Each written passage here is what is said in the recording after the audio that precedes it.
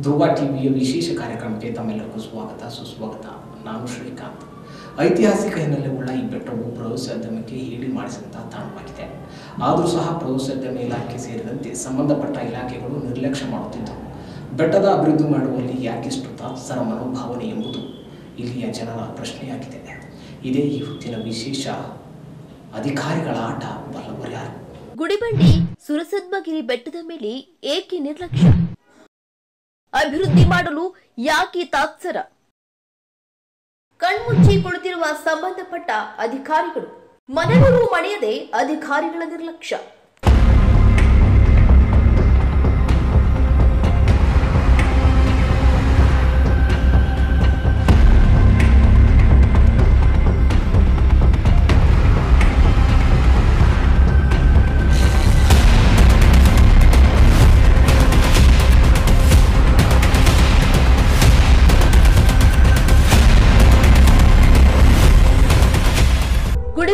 ಐತಿಹಾಸಿಕ ಹಿನ್ನೆಲೆಯುಳ್ಳ ಸುರಸದ್ಮಗಿರಿ ಬೆಟ್ಟವನ್ನ ಪ್ರವಾಸೋದ್ಯಮ ಇಲಾಖೆ ಸೇರಿದಂತೆ ಸಂಬಂಧಪಟ್ಟ ಇಲಾಖೆಗಳು ನಿರ್ಲಕ್ಷ್ಯ ಮಾಡುತ್ತಿದ್ದು, ಅಭಿವೃದ್ಧಿ ಮಾಡಲು ಯಾಕೆ ತಾತ್ಸರ ಮನೋಭಾವ ಎಂಬ ಪ್ರಶ್ನೆ ಜನರಲ್ಲಿ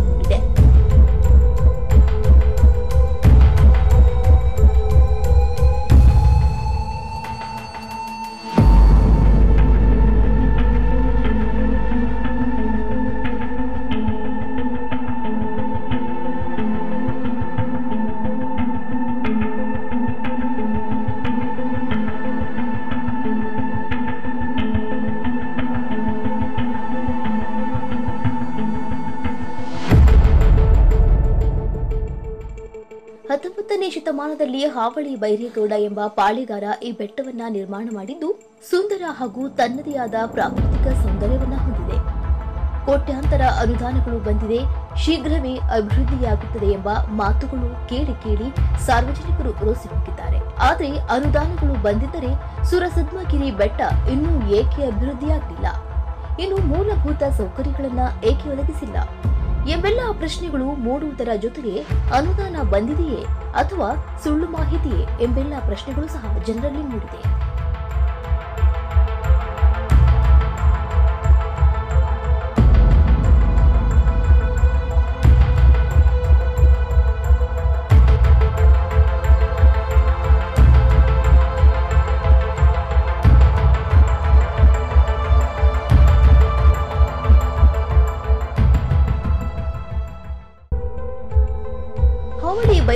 ನಿರ್ಮಾಣದ ಈ ಸುರಸದ್ನಗಿರಿಯಲ್ಲಿ ಪಾರ್ವತಿ ಸಮೇತ ಶ್ರೀ ರಾಮಲಿಂಗೇಶ್ವರ ಸ್ವಾಮಿ ದೇಗುಲ, ಏಳು ಸುತ್ತಿನ ಕೋಟೆ, ವಿಶಿಷ್ಟವಾದ ಕಲಾ ಕೆತ್ತನೆಗಳು ಪ್ರವೇಶ ದ್ವಾರಗಳು, ಸ್ವಾಗತ ಕಮಾನುಗಳು ಕಾವಲು ಗುಮ್ಮಟಗಳು, ತುಪಾಕಿ ಗುರಿ ರಂಧ್ರಗಳು, ಶತ್ರುಗಳನ್ನ ಕೂಡಿ ಹಾಕುತ್ತಿರುವ ಜೈಲುಗಳು, ವಿಶ್ರಾಂತಿ ಕೊಠಡಿಗಳು, ನೀರಿನ ದೋಣಿಗಳು.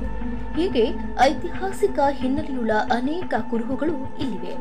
ಆದರೆ ಈ ಎಲ್ಲ ಕುರುಹುಗಳು ಗಿಡಗಂಟೆಗಳಿಂದ ಮುಚ್ಚಿ ಹೋಗಿದೆ.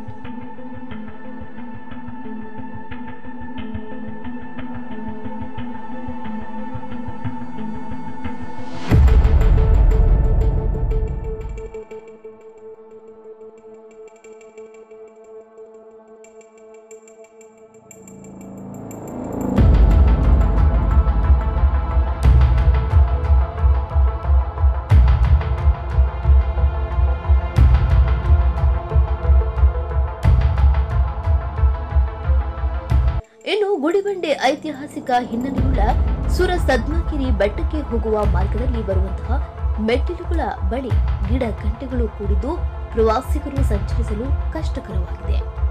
ಸುಗಮವಾಗಿದ್ದ ಈ ಮೆಟ್ಟಿಲುಗಳು ರಸ್ತೆ ಇದೀಗ ಕಾಡಿನಲ್ಲಿ ನಡೆದುಕೊಂಡು ಹೋಗುವ ರೀತಿಯಾಗಿದೆ. ಈ ಹಿಂದೆ ಸ್ಥಳೀಯ ಪಟ್ಟಣ ಪಂಚಾಯಿತಿ ಸಿಬ್ಬಂದಿ ರಸ್ತೆಗೆ ಅಡ್ಡಲಾಗಿರುವ ಗಿಡಗಂಟೆಗಳನ್ನ ತೆರವುಗೊಳಿಸುವ ಕೆಲಸ ಮಾಡುತ್ತಿದ್ದರು ಆದರೆ ಇದನ್ನ ಮಾಡಿ ಅದೆಷ್ಟು ವರ್ಷಗಳು ಕಳೆದವು ಎಂಬುದನ್ನ ಆ ದೇವರೇ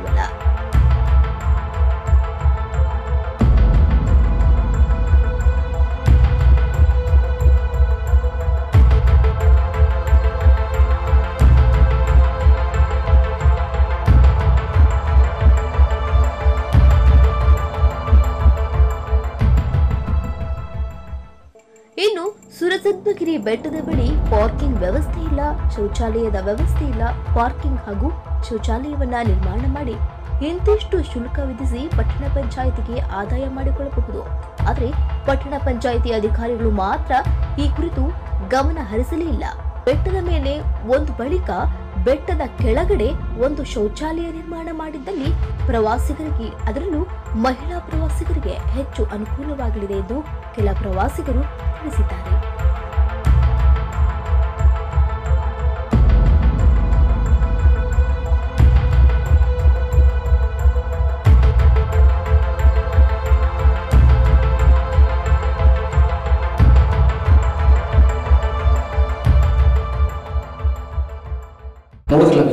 ಸುರಸದ್ಮಗಿರಿಯ ರಮಣೀಯ ನೈಸರ್ಗಿಕ ಸೌಂದರ್ಯವನ್ನ ಈಗಲಾದರೂ ಸಂಬಂಧಪಟ್ಟ ಅಧಿಕಾರಿಗಳು ಇತ್ತ ಕಡೆ ಗಮನ ಹರಿಸುತ್ತಾರ ಕಾದು ನೋಡಬೇಕಾಗಿದೆ.